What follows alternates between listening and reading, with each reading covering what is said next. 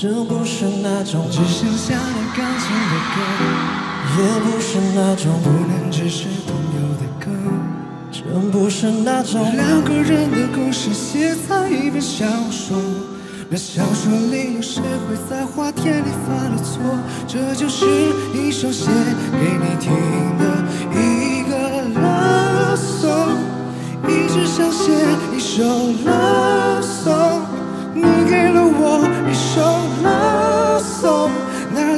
会播放，这也许会伤疤，不过我只想写出一首 love song，一直想写一首 love song，你给了我一首，你就像那夏天的凉风，吹过我的面孔，轻像飞，在我心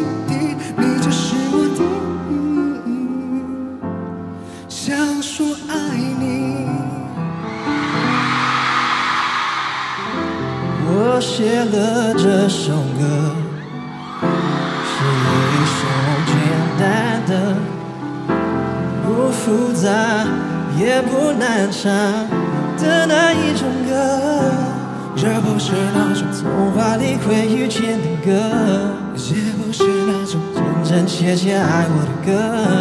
这不是那种，两个人的故事写在一本小说，小说里有谁会在怕流星在降落？这就是一首写给你听的每一个 love song，一直想写一首 love song，你给了我一首 love song，那 DJ 会播放，这也许会上榜，不过我只想写出一首 love song，一直想写一首 love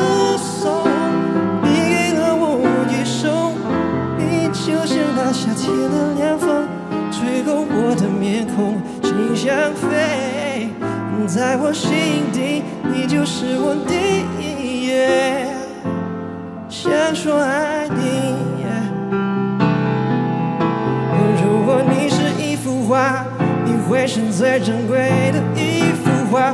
如果的画，这是梵高的画，有何贵人前来有钱花？哥哥向你休假，梵高他说你们都该回家。但如果你是麦乐迪，就是最动听，所有的人都会跟着你起唱，就算在夜晚，你的心太亮，让我忘了月亮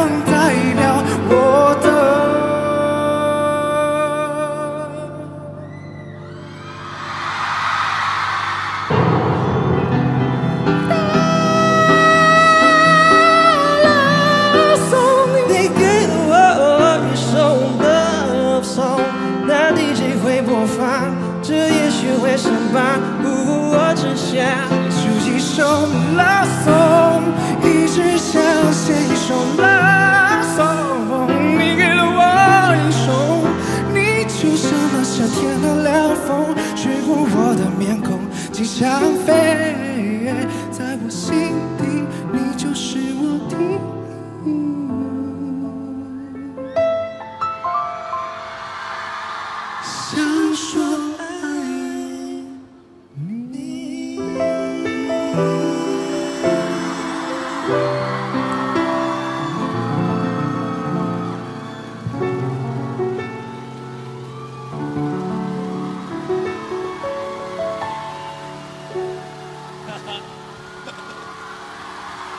有啊，哈哈，怎么样？哎，欢迎大同。大家好。哈哈。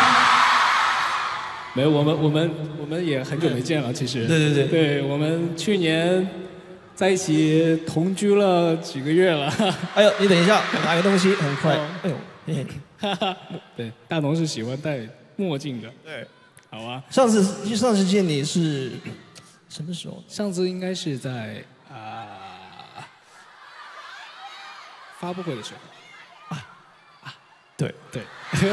然后呢，我一直去北京呢，会会找花花，我说，哎，我们吃饭吧。但最后因为行程特别忙，所以工作原因一直没有机会见。对但是呢，毕竟我们这个呃，这个叫同花顺的 这么一个合组合，然后呢，在以前的时候有表演过一次那个异类，对对，但没有，但是呢，异类呢，我觉得就是比起异类，因为异类大家已经听过了，所以我觉得我可以去挑战一次。好不容易把大同请来了，我觉得我要挑战一次 R&B 的。对，虽然我虽然我虽然我一个摇滚青年唱 R&B 有点不太擅长，他他太谦虚了，没有没有，他本身唱歌都很有哎这位这位大师来来点评一下。大师啊，我有多大？